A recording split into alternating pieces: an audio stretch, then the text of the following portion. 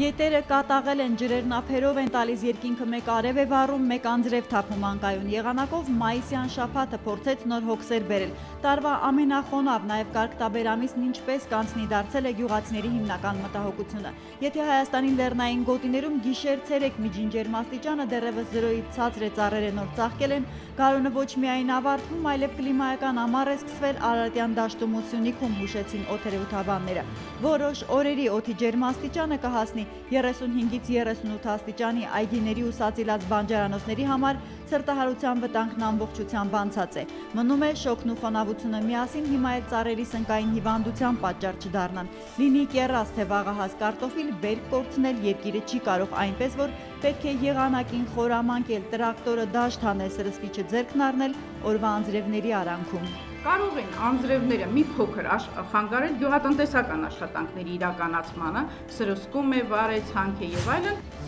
տնտեսությունում եթե ոչ նոր աշխատատեղերի բացման գոնե եղածի պահպանման նպատակով շաբաթը թարմացրեց Հրազդան ցեմենտին հարկային կൂട്ടակած պարտքի ուժերից ազատել չազատելու հարցը։ Ազգային ժողովի քվեարկությամբ մեկ անգամ մերժված նախագիծը կառավարությունը նորից խորհրդարան ուղարկեց օրենսդրին բաց տեքստով հուշելով, եթե այդ 510 միլիոն դրամը չներենք, որ գործարանն աշխատի, բյուջեն չի ստանա նաև մայր պարտքի մոտ նույնքան գումար։ Գումարած դրան կկորցնենք 500 աշխատատեղ։ Այս արտոնությունից բացի պետությունը ստիպված է ֆինանսական շտապ օգնության դեր ստանձնել նաև հանքարդյունաբերական թեղուտի համար։ Ընկերությունը 1200 աշխատատեղով ընդերքից փող է քամում 4 ամսում 16 միլիարդ դրամի արտադրանք են տվել։ Այդուհանդերձ աջակցություն են խնդրում, որ հաղթահարեն պղնձի միջազգային գների կտրուկ անկումը։ Կառավարությունը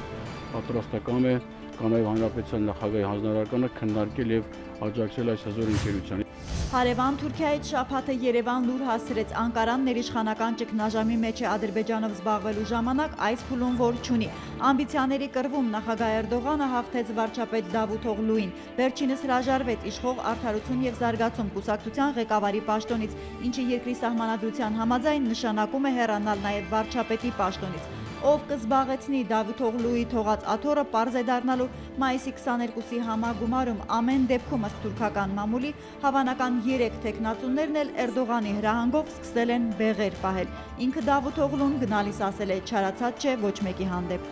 Ես պատասխանատվություն եմ ստանձնել աշխատելով օր ու գիշեր արդարացնելու վարչապետի իմ պաշտոնը։ Ազգը վկայ է։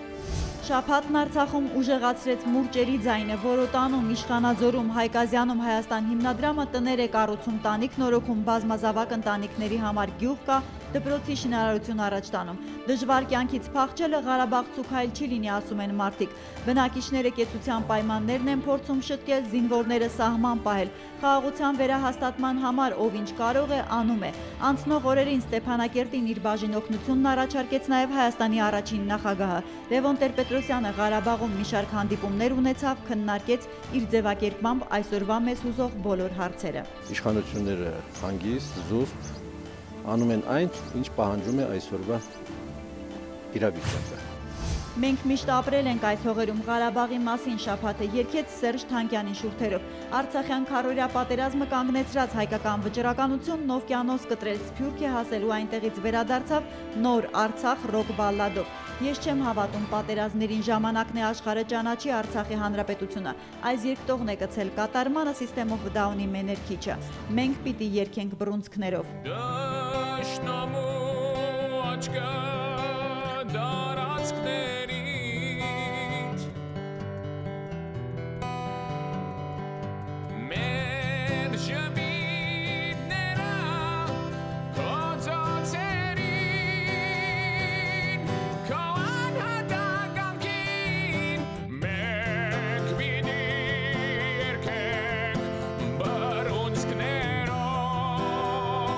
Հերմինե Բադասյան առաջին ալիք